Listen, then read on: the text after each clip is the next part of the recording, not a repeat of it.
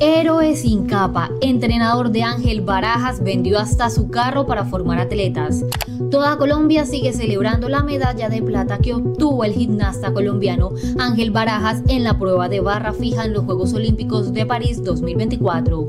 Con solo 17 años, Barajas consiguió hasta ahora la única presea que tiene Colombia en estas Olimpiadas. Detrás de su triunfo se ha destacado el papel de su entrenador Jairo Ruiz.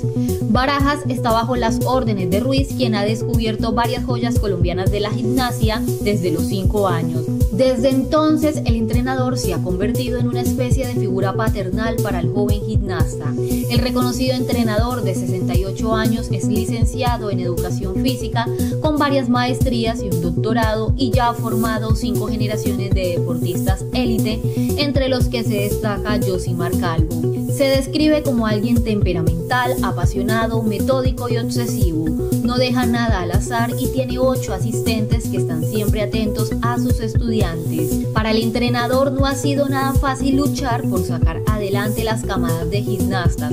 Logró conseguir un patrocinio que les da un almuerzo balanceado a los deportistas y hasta vendió su carro para comprar de su propio bolsillo los equipos para recuperar a los atletas luego de los entrenamientos. Para ampliar esta y más noticias, visite nuestra página web ultimaoracol.com.